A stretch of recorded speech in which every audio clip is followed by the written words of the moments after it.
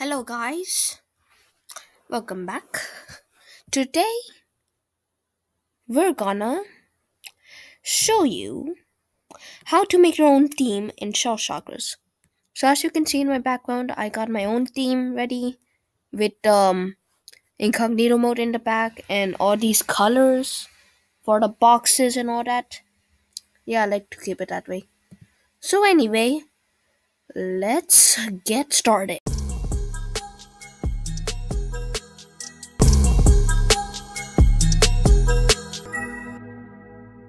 Testing testing. One two three three four. Okay. So hello guys. Today we're going to see how to install no not install make our own shell shockers theme. Like your own custom theme not like from greasy fork or whatever.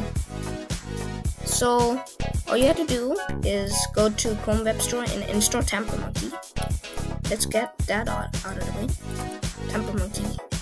Yeah, this one. And then what you do is go to the dashboard by going here and clicking dashboard. And you should see this page. Create a new script by this. And yeah, just copy paste the link I sent you in the description here. And this is for shell shockers.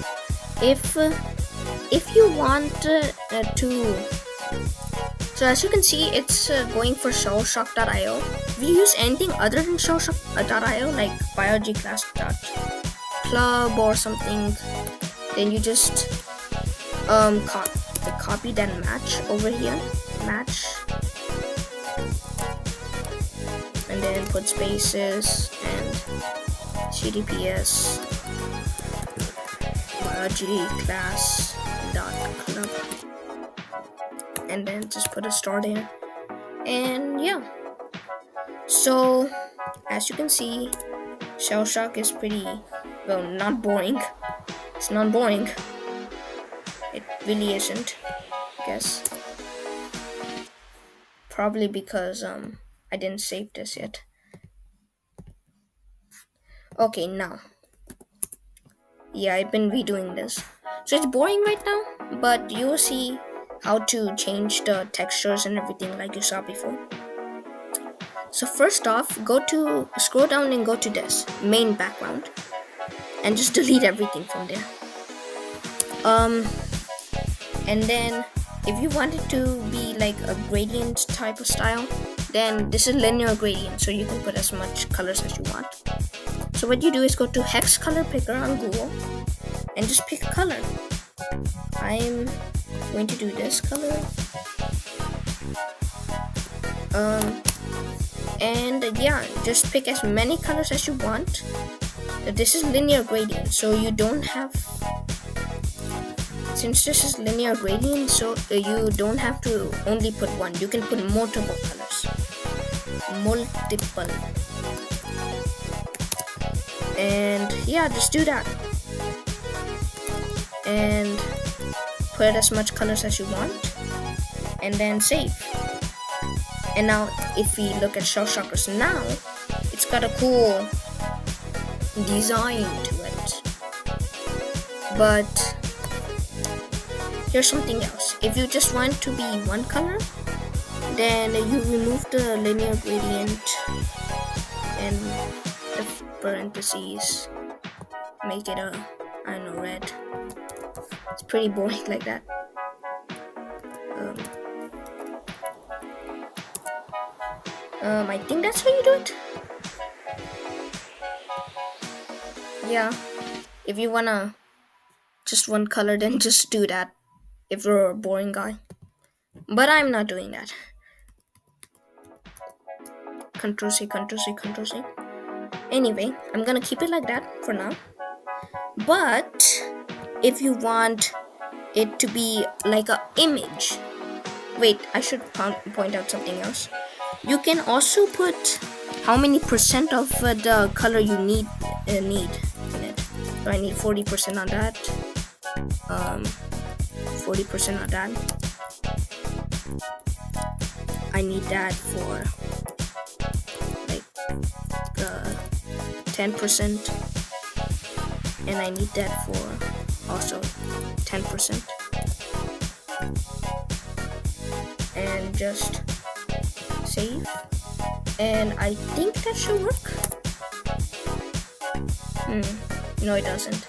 We'll get that more to that later. Um control Z control Z control Z save? Okay anyway so yeah a url so if you want a google image by the way this does not work on file images. You just go background color like any image you want. I will pick this. Actually this I like this one. And just copy the URL so copy image address. And come over here to the main background. Delete everything except for this here. And you just type URL and then bracket um, parentheses and then that and then again parentheses bracket. And that should work. Shell shock. And as you can see the background has changed into this image probably doesn't work well. Yeah kind of. So yeah you can do that. I'm keeping it like this for now. So but this one problem though. I come over here. It's all like this. But what about these? This here. This here. This boxes what do I do with those? Well these are actually the ones here the white text the yellow buttons the lighter box borders the blue subtitles and dark box borders. Yeah so you can change that as well. Instead of white I will make that um sort of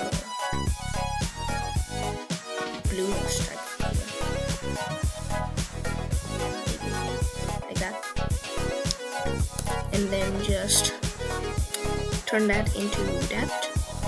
And if we refresh as you can see it should have changed. No? Oh I didn't save it. Yeah you you need to remember to save it. Oh yeah. And I changed the background too. And as you can see it's changed the white the white text it's all changed. Everything white is changed. And you can play with that the yellow buttons all the yellow buttons here and there. You can play with that as well. I will put that as like a purplish color. I need to I need it to be light so I can see the text save and reload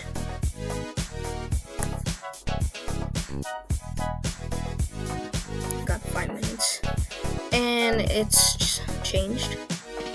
Um, lighter box borders, so he means these. So you can pick any color from that. I'll make that a orangish color. So lighter box borders is that. And the blue subtitles. So he means like these here, the blue subtitles and all that. And the borders. So I will make that more readable. Like a light color yellow. Who doesn't like yellow? And then just copy that paste save. Um, ignore the crosshair. And you can see it's changed. Um, the borders are red. They're more readable. And they also work in game oh bad they also work in game you can check it out um waiting waiting waiting. Yeah. So you go in and just kill someone or get killed. You will see that the text are blue too. And so is it when we get killed I think. Yeah. Um and the top and everything is also yeah see? All the blue. And that. So yeah. That's almost it. Um hope you enjoyed the video. Um i guess i will see you guys in the next